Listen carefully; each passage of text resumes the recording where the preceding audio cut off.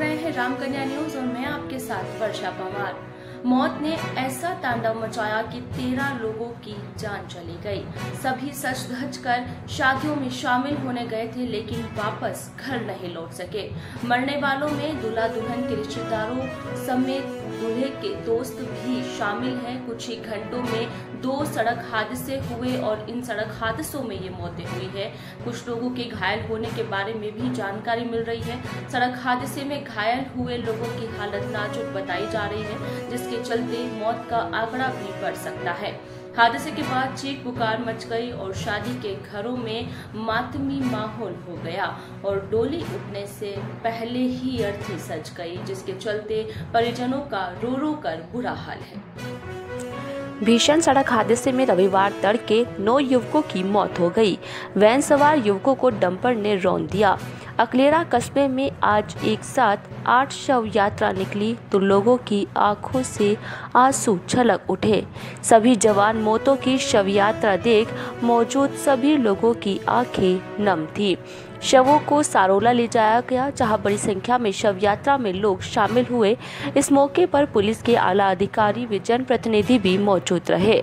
झालावाड़, राजस्थान के झालावाड़ ज़िले में हुए भीषण सड़क हादसे में अशोक कुमार पुत्र, घनश्याम बागरी, रोहित पुत्र, नंदकिशोर बागरी, हेमराज पुत्र, बंशीलाल बागरी, सोनू पुत्र, भेरूलाल बागरी, दीपक पुत्र, जयलाल बागरी, रविशंकर पुत्र, प्रेमचंद बागरी, रोहित पुत्र, जगदीश बागरी, निवासी अकलेरा राहुल पुत्र भेरूलाल बागरी निवासी सारोला कला, रामकृष्ण उर्फ़ राजू पुत्र प्रेमचंद निवासी हरनावदा शाहजी शामिल है।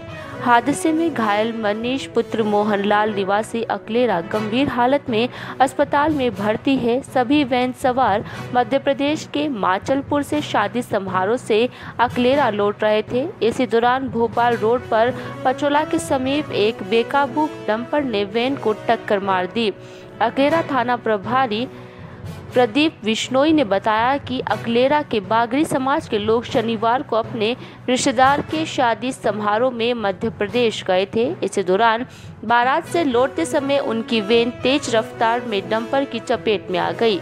उन्होंने बताया कि हादसे में नौ युवकों की मौत हुई है। अकलेरा कस्बे में बागरी समाज के सभी युवाओं की एक साथ शव यात्रा निकली। इस दौरान हर आँख नम थी। हर कोई घटना को लेकर स्तब्ध था। मृतकों में सारे 20 से 22 साल के युवा थे। ज़्यादातर मजदूरी करते थे। घटना के बाद सांसद दुष्यंत सिंह, पूर्व विधायक कैलाश मीणा, पुलिस अधीक्षक ऋचा तोमर एसपी चिरंजीव लाल सहित कई अधिकारी व कस्बे के लोग मौजूद रहे। शमशान में जैसे ही चिताओं को मुखाग्नि दी तो हर किसी की आँखें नम सी नज़र आ रही थी।